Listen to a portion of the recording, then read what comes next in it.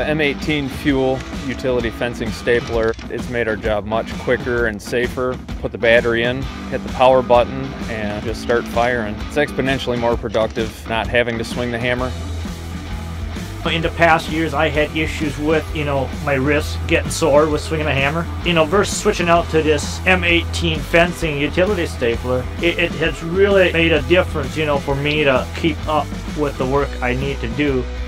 3,500 feet of fence. One guy can hand staple it in a couple hours with the Milwaukee tool. A half hour, 45 minutes, walk around the job, and it's stapled. It's a lot easier than the traditional hammer, a lot faster, more efficient. You can reach up higher, and it's real light, so you can pick it up. You can use it with one hand.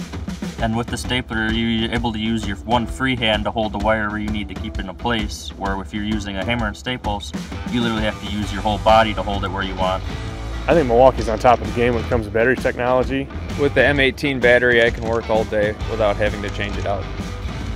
I could do at least a day worth of work on one battery before I have to, you know, switch it out to another battery. It has that nice big hook on it so I can hook it on uh, any of my carabiners I need to and, and move around the pole or in the bucket as easily as I possibly could. Having staples that just go right in how they're supposed to every time mechanically driven, it's a game changer for this industry. We use the M18 Fuel utility fencing stapler to go through many types of wood, pine, oak, cedar. We haven't found a post that we haven't been able to put it in yet, and there's no lag or anything. It drives it perfectly in each type of pole we have. The Milwaukee staples got three sizes, they all fit in the same gun. They're easy to use. With the higher crown on these staples, doesn't pinch the molding, it helps you glide it down nice and easy. This would be one of the first tools that I recommend to anybody. It has uh, made our job so much easier, quicker, safer, and more efficient.